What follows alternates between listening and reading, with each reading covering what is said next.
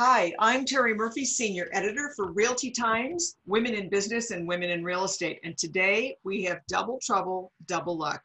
We have the best ladies in real estate. Our guests today are superstar top producing team, her team leader and president of Infinity Real Estate Group in Pearland, Texas, the amazing Christy Buck and her amazing sidekick, Samantha Knorr, who's her Chief Operations Manager. Now, here's a little bit about Christy she shares she really shares an extraordinary story about how she started as a young mother uh, who started her legacy actually in the real estate business uh, on a basically a dining room table with Samantha and a, and a folding table for a buyer agent. And now we are, how many years later, Christy?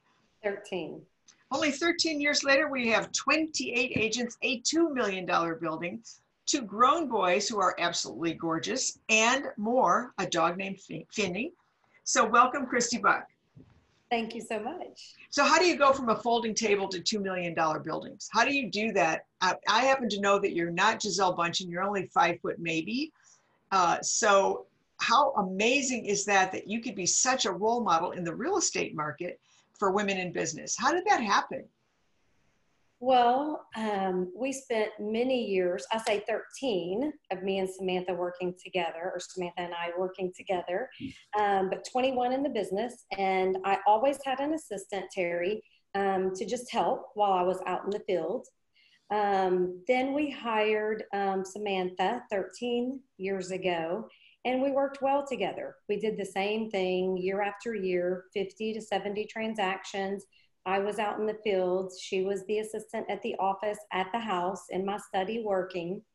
And in 2012, I decided that I needed more. There were agents doing more. Um, I was with a franchise at the time. We would go to awards and we worked seven days a week, called each other all night, making sure we remembered things. Um, but these other agents were doing more than I was doing. So we had to figure out how. And that is when I went to a conference and met Burl Workman um, and decided to hire a coach to better understand how to get to the next level because there was no way that we could work any harder than what we were already working. And I know some inside information about that. Uh, Workman, Workman Success Systems, is a colleague of mine for many years and built an extraordinary business around systems because he realized early that systems were the key. Now, I remember him discussing that you weren't particularly embracing the systems right up front. Would that be accurate? That is 100% accurate. So when we hired Burl and he asked us, What's your CRM? What's your system? What's your follow up? What's your processes? It was absolutely none. I mean, there's not really a CRM. When the file closes, the manila folder goes to the attic. And that's embarrassing to say that even seven years ago, um, that the manila folder went to the attic. It was a closed transaction. Um, it, so our systems and our processes, how did we keep up with leads? How did we manage all of our clients that we had? How did we keep up that every I was dotted, T was crossed? We just did it by memory, um, which kept us extremely stressed, working all evening. Did you do this? Did you do that? Um, where did I write that lead down? It's on a post it note, it's on an envelope in the car. Um, just zero yes. processes. Chaos. And so, so, mm-hmm. so, you had to come up with embracing the systems eventually, correct? correct. Yes. Uh, because up to that time, even though you were doing some pretty good business, you really didn't have a system for incubating, converting, and then, of course, nurturing even past clients. Would that be true? 100% true. Um, we would do one with with a close client, one little step with a company that would send them a mail out for 10 years. That was it. But we didn't do any follow up or, or, or contact with past clients. So um, the main things we pushed back on was certain action plans and CRMs, but we embraced some things and learned a lot, and then we pushed back on a lot which was a mistake. The quicker that, but change is hard, right? So all of us put, push back on change. Um, but after the first year, when we started going back around the same block that Burl already tried to take us around, Um, and then we stopped and picked up more tools that he had showed us the first time around. Um, it just continued to grow. Everything he taught us in the beginning was right. We just didn't embrace it fully as we should have the first first year. Well, you know, I think that there's a mindset there too. Obviously, you've survived, you had been doing well, you were busy, which uh, many agents interpret being busy as being productive, which we know it isn't. But you got particularly um, comprehensive about lead tracking and lead conversion and how much it cost. But then you started bringing in buyer agents, and part of that um, also brought in a whole series of management and uh, mm. core values and mission statements and standardization. Now, I know that Samantha has been particularly helpful because she is the queen of all things Excel and she understands those spreadsheets like no one I've ever met. Hard to believe somebody that beautiful and that disciplined could, you know, do something that amazing. But what was the one thing? What was the biggest aha for you? Was it the lead tracker, the top 50, um, maybe the uh, the reach out to the community so that you had a brand? What was it that specifically where you think, feel like it really tur- took a point and turned? So that's a tough question because all of it was so important. I mean, every bit of tracking our leads. And when I originally got into to coaching, one of Burl's first questions was, how have you gotten to where you are now? What's made you successful as you are? And I, my response was marketing. Well, what in marketing? And I just said everything. So I wasn't tracking what worked. I just kept doing the same thing every year. Um, tracking what worked was huge so that we quit spending dollars on what did, did not work, which was every single phone call. Where did it come from? Um, I would say the biggest tool that was a game changer was Lead Tracker. Entering every single lead, whether it was viable or not, knowing where it came from instead of it being on a post it note, envelope, a spiral, and making sure that we followed up with every phone call that we worked hard to get, but we dropped the ball on follow up. So, of course, a lead tracker and a CRM. Oh, I was just going to say, because one of the things that we get pushed back on a lot is that agents will say, Well, I have a CRM and I put it all in there, so why would I need a lead tracker? And I bet you have a great answer for that one. Yes, because if every single lead went into your CRM, um, our CRM would just get over overwhelming. There's just too much. So viable leads, which every lead, unless, I mean, of course, there's reasons that they're not, but we make sure what we put in our CRM is all leads that have potential. So every single time the phone rings doesn't necessarily need to go into your CRM, but we can follow up on it and put a next follow up date. And it gives us a quick um, re- point of reference on where our leads are coming from. So um, every single lead that goes into there, then we can do the graph and show we had this many phone calls on signs, this many phone calls on billboards, company cars, whatever it is. So it's a very quick point of reference on where we're getting our business. And that really gives you a great blueprint for where to market and, and how to market.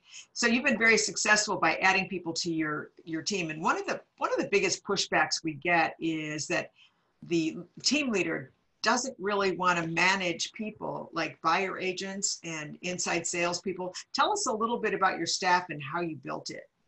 Okay, so let me backtrack on that just a little bit. The hardest part about being an agent is letting go. Um, it, letting go. So, not letting go with what I had Samantha doing, which was, you know, just the paperwork behind the scenes. I could do that. But letting go and adding that first team member was my hardest struggle. Is me and Samantha working in my home office for years and when Burl said to hire a buyer's agent. Christy, you have to hire a buyer's agent. Um, I don't want a buyer's agent. People want me. They called me. They were referred to me. And I think one of the most impactful things that Burl taught me is I hate to bust your ego. They want a house and they heard about you. So if the person you send out is trained and trusted by you, you are not going to lose them and they're going to be just as happy knowing that person is working with your same integrity and being trained by you. So it was difficult to hire my first buyer's agent. She was working um, in the home office on a card table. So we hired Mona, our first buyer's agent, and Burl literally had to tell Samantha one day to take the phone, the lead phone, the phone that rang with leads, out of my hand and hand it to Mona and not give it back to me. And I, I even said, How about if I give it to her during the day when I'm here, but then I keep it at night and on the weekends? And the answer was no. Um, so it was hard to let go, very hard to let go. But he needed me focusing on listings, not outrunning with buyers. We quickly went from one to two to three buyers agents. When I realized how much business we were losing by not having multiple people working buyers, it was amazing to me that everyone that I let her work, she closed them. I want to say her first month with us, it was 12 or 13 buyers she was closing because I was letting go. But think of how many I was losing by thinking I was the only one that could do it. So it was tough to let go. But once I did, oh my goodness, yes, it's wonderful. But it's a transition for managing people. So now my agents are my clients. Now that I have 15 agents and it's all a team, we're not a brokerage um, they are my clients. So I work very hard to treat my agents as I did my clients. So there had to be a formula for X amount of leads for X amount of buyer agents so that you would um, be able to basically systemically grow the business. Correct. you have a special system for how you keep communicating with this whole team every day. Would you uh, want to explain that? So on our team, every single day we meet for huddle. Um, it's either nine o'clock or 10 o'clock. The agents like to do um, nine o'clock when the kids are in school because they take them to school and come right on in. And the summers, they like to do 10 o'clock. So we're flexible, but we meet every single day for a quick 20, 30 minute huddle. It gets your agents up, there, present, and working. It keeps us all on the same page. We say our core values. We talk about our core values. We talk about our daily success habits, who got their points in, who met their points. Um, their 61 points for the previous day, who did their prospecting, where they did their prospecting from, how successful they were with their conversations. Um, we talk about missing any missing documents, what the transaction coordinators need from the agents. So we get there, it's just like a football team. You don't just run out there and make a play. You meet, you talk about what you're going to do, and you're intentional with the plan. So we do that every single day. Wednesdays, we have our 9 to 11, our two hour meeting to go over anything else that's big events, trips, um, changes in, in our contracts, anything that we need to talk about is our Wednesday two hour meeting. The rest are 20, 30 minutes. So that's a real important distinction for our viewers to understand. There's a big difference between a huddle and a meeting. And, uh, and then they have, and that's part of uh, the onboarding process is they have to, they have to attend huddles. Just uh, quickly, if you wouldn't mind, give us the anatomy of the team. So you obviously, you're the team leader and Samantha is operations manager. What else is there? So we have two transaction coordinators. Um, so they take the contract. All we want our agents doing is prospecting, showing, putting it under contract. The agent steps back in for inspections, gets that situated, and the transaction coordinators have very detailed job descriptions to get every single detail of the contract is taken care of by the transaction coordinator. We also have Morgan, which is our, she supports three agents. Um, it with pop buys, note cards, helps them prospect. Uh, any agents that's producing at a certain level, they get a personal assistant to share. So she has three of them that she helps with their day to day typing contracts, whatever they need done while they're out in the field. So they can just call in and say, type a contract. Morgan is three of their assistants. Um, we also have Melanie, our top, top producer. She has her own personal assistant because she's so busy. Uh, we have Mona, which is our commercial department. She has her assistant, Kyle. Commercial is much different in Texas. You can't put people on custom searches. You have to search all the time. So our commercial department has her own assistant. We have Samantha's assistant, which is Jordan. Um, Samantha has to have help. She's very, very busy and spread thin. And then we have Bryn, which is also our social media. She does all of our social media, landing pages, uh, Facebook pages, all of all our community uh, pushes that we do with other small businesses. Um, who else am I missing? Our office runner. We have an office runner that does all of our signs, lock boxes, and errands. Keep that in house. It's too expensive to pay companies to put your signs out. Um, so you really have clear, you've made, had clear, uh, clear job descriptions, a clear accountability and processes in place to measure. I think that's just a terrific way to run a business. If you were giving advice to someone who is a solopreneur, somebody who is brand new or, has been in the business for a while by themselves and, and struggles with that, mm, I can do it myself, everything, warrior, princess, just show me the way, what would you say to that person? I would say the number one thing you need is a, at least your first assistant. You have to have your first assistant. If you do not have that number one person, you're doing 15 $18 an hour work when your time has to be focused on getting new business. So I say day one, you have to have your first assistant with the right person in the right position by knowing how to hire, knowing how to interview, knowing what you're looking for. Not anyone can be your right hand. It has to be the right personality type.